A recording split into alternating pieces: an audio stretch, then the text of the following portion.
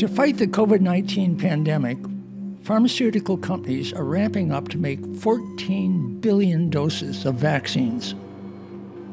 Yet, to make vaccines safe, almost all drug manufacturers rely on the blood of the horseshoe crab, a threatened keystone species. In the US, we bleed 500,000 horseshoe crabs a year, with potentially up to 100,000 of those crabs dying as a result. This has been going on for decades, depleting their populations. These crabs that are harvested, they're taken to these labs, and a big old needle is stuck right up into their heart, and a third of their blood is sucked out. And that bottle of blue blood is worth $15,000 because their blood saves human lives, being able to detect and head off endotoxins that are in anything we might inject in our body.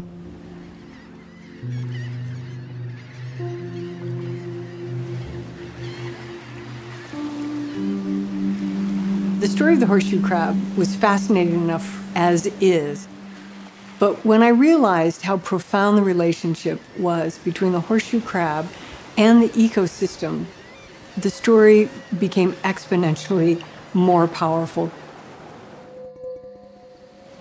Once a year, on the full moon, en masse, these crabs come in. And they lay billions of eggs. They provide not only the future generation of horseshoe crabs, they provide sustenance for these really amazing migratory birds. What I didn't know about is this other mythic animal, the red knot. They're a species into the endless summer. These little birds fly the 6,000 miles, all the way from the south end of South America to the north end of North America. And they do this with only one or two stopovers. One of the most important stopovers is Delaware Bay. So these birds that have been flying nonstop, they touch down and they just gorge on the horseshoe crab eggs. They double their weight in a week or so. And so huge numbers of birds come and eat vast quantities of eggs. And that refueling is what allows them to continue all the way north to the Arctic Circle. That cycle of life is so dependent on this 450 million year old species. It gets mythic when you have vast amounts of animals up to something. But they've been diminishing. This year, the number of red knots and horseshoe crabs on Delaware Bay fell dramatically. Wow, look at it with all those shells. When I heard that a synthetic alternative had been developed 15 years ago, I couldn't believe it that we were continuing to bleed these crabs.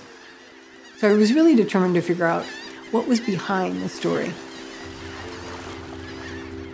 The original scientists in Singapore who discovered and created through genetic work the recombinant factor C, RFC, which is a very good substitute for the horseshoe crab blood for detecting endotoxins in the pharmaceutical industry. It got bought for not much by a company that then basically sat on the patent for 15 years. Because reportedly the profit margin in horseshoe crab blood is about 95%. And the bleeders stayed in business even though there was a substitute. Pharmaceutical companies are never being told they're doing the right thing. They can actually start to adapt, to use this product, that they can actually get credit from the public for doing the right thing. So far, Eli Lilly is the only drug manufacturer to adopt the use of the synthetic alternative for endotoxin testing. We need more pharmaceutical companies to follow suit. But with new international standards introduced in July 2020, the barrier to using the synthetic alternative has been lifted. The challenge now is to encourage pharmaceutical companies to adopt the synthetic alternative. They need to eliminate their reliance on this threatened wild species.